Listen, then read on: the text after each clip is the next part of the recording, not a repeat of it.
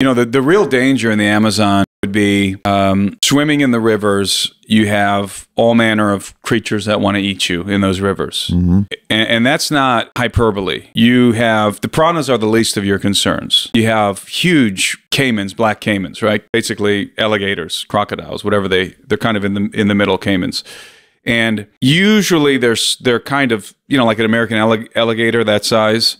But they've been known to get really big deep in the Amazon. And then you have the most dangerous thing in the water is the electric eels. Now they're they're not going to eat you, but as the electric eels and they get really big. I killed a big electric eel and got electrocuted doing it. But the really big eels, um, all of the eels as they as they're hunting, they they're swimming in the water and they're and they're discharging electricity into the water. And you can hear it if they're near the surface. It sounds like sizzling on the surface of the water. And it it it stuns the fish and they float to the top and then the, the eels will eat them. Well, if you're in the way of that discharge, you get zapped and you drown. And that's that's a big problem in the Amazon.